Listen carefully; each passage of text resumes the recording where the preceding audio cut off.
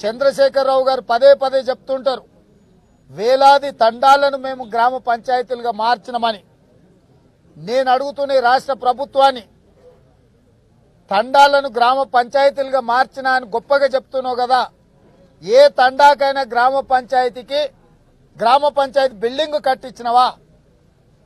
పేదలైన ఆదివాసీలు లంబాడీలు గ్రామాలల్లా ఎన్నికయ్యి ప్రభుత్వం చెప్పిన శ్మశాన వాటికలు కావచ్చు రైతు వేదికలు కావచ్చు లేకపోతే ఉద్యానవనాలు కావచ్చు లేకపోతే ప్రభుత్వ ఆదేశాల మేరకు కొనుగోలు చేసిన ట్రాక్టర్లు కావచ్చు. గ్రామంలో పారిశుద్ధ్య కార్మికులకు చెందలా చెన్- చెల్లించాల్సిన జీతాలు కూడా పారిశుద్ధ్య కార్మికులకు చెల్లించే పరిస్థితి లేదు. అంటే చెత్త ఊడ్చే వాళ్ళకు మోరీలు సాఫ్ చేసే వాళ్ళకు కూడా నిధులు లేకుండా విద్యుత్తు బకాయిలు చెల్లించడానికి కూడా అవకాశం లేకుండా వాళ్ళ ఖాతాలలో ఉన్న పైసలను రాష్ట్ర ప్రభుత్వం చంద్రశేఖరరావు గారు దొంగిలించిండు. చంద్రశేఖరరావు దొంగ. సర్పంచుల యొక్క నిధులను దొంగిలించిన గజ దొంగ. ఈ గజ దొంగను దొంగతనం కేసులో జైల్లో పెట్టాల్సిన పోలీసులు ఆత్మహత్యలు చేసుకుంటున్న సర్పంచులు. సిరిసిల్ల జిల్లాలో ఎక్కడైతే డ్రామారావు ప్రాతినిధ్యం వహిస్తున్నా అని చెప్తున్నాడో అక్కడ ఒక సర్పంచ్ ఆనంద్ రెడ్డి అక్కడ గ్రామ అభివృద్ధి కోసం ప్రభుత్వం మంజూరు చేసిన అని చెప్తే నమ్మి దాదాపుగా ముప్పై నలభై లక్షల రూపాయలు అప్పు చేసి పనులు చేస్తే అప్పుల వాళ్ళు ఇంటి మీదకి వచ్చి అవమానిస్తే బజార్లో నిలదీస్తే అవమానంతో ఆనంద్ రెడ్డి అనే సర్పంచ్ ఆత్మహత్య చేసుకుంటాడు.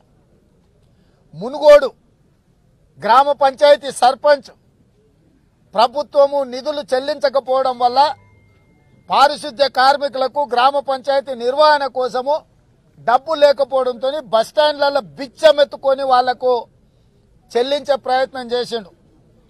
సూర్యాపేటలో శాంతమ్మ అనే సర్పంచ్ చేసిన అప్పులకు మిత్తి కట్టలేక తాలి పుస్తెలమ్మి అప్పులు కట్టుకునే ప్రయత్నం చేసింది.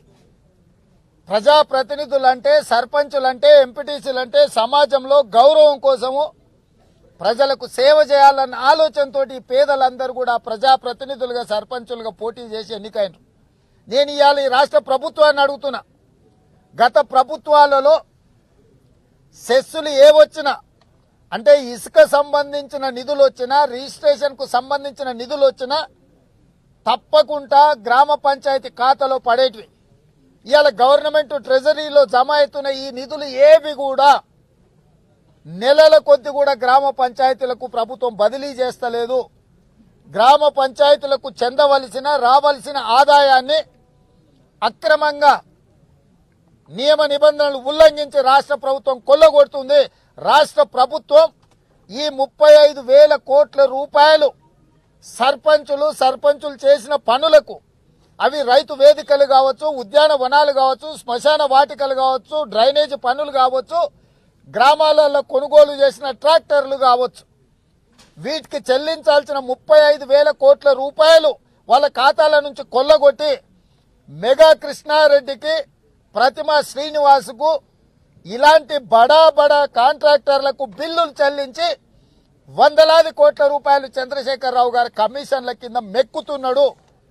ఇవాళ బడా బడా కాంట్రాక్టర్లకు బిల్లులు చెల్లించడానికి చిన్న చిన్న వాళ్ళు సర్పంచులు అప్పులు చేసి తాలిపుస్తలు తాకట్టు పెట్టి ఉన్న ఆస్తులు అమ్మి ఇవాళ గ్రామాల అభివృద్ధి కోసం పాటుపడి పనులు చేస్తే ఆ బిల్లులు చెల్లించకపోవడం వల్ల సర్పంచులు బిచ్చమెత్తుకుంటున్నారు. రాష్ట్ర ప్రభుత్వం ఇచ్చేటి పక్కన పెట్టి కేంద్ర ప్రభుత్వం ఇచ్చిన ఫిఫ్టీన్త్ ఫైనాన్స్ కమిషన్ నిధులను కూడా ఈ రాష్ట్ర ప్రభుత్వం కొల్లగొట్టింది.